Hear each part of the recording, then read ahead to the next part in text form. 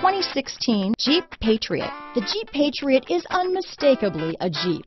It looks like a cross between a Jeep Liberty and Jeep Compass, or maybe a three-quarter scale version of the big Jeep Commander.